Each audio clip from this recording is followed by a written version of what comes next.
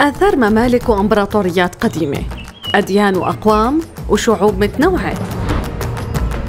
الكتابات واللغات وحتى الخرافات اللي دارت حوالين منطقة حوض الفرات الأوسط يعني دير الزور والرقة والحسكة. قامت دخلت القبائل العربية على المنطقة واستوطنت بيها وصارت تنشر ثقافتها وحضارتها. كان هالوصول والانتشار من وراء مخططات استعمارية وتغيير ديموغرافي ولا هي طبيعة الحياة بهذاك الوقت؟